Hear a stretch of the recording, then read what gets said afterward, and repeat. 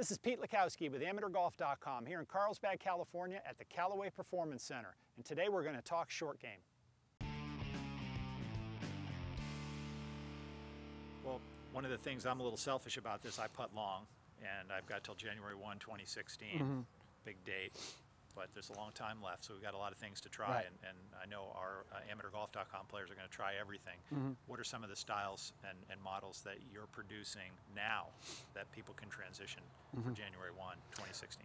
Well, as soon as the USGA made their announcement that they may change the rule, uh, we came out with a putter called Arm Lock, which uh, is more of a transition from belly uh, to arm lock, which just takes moves the anchor point from your belly to your forearm, which which is still within that new rule. That was the first one we came out with. Um, another one, we kind of took a step back and say, well, what are players looking for when they're going to to a belly style or a long style? And it's really to uh, stabilize the putter, take some movements out of their stroke that they've had or they've had trouble with, whether it's forearm rotation or the wrist breaking down. And so instead of using a, an anchor locking to the body, we said, well, let's use inertia. And so we came up with a couple different putter designs uh, that we called tank.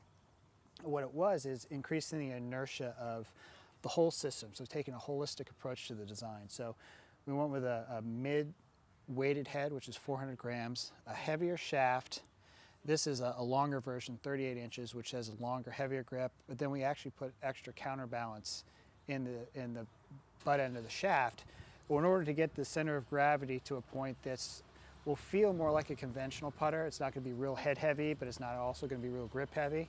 Um, but it also makes it balance real well so that it goes back as one unit. And you can really feel it quiet the hands, employing those big muscles to bring it back really smoothly and, and slow it down. Because I think where people get in problems is the light putter with their muscles, it starts twitching and they start uh, slapping at it, or they get some forearm rotation going, which they can't control. And so it really helps to quiet those movements down by using inertia. Okay, and we're seeing putters on tour, uh, golfers on tour use these to win.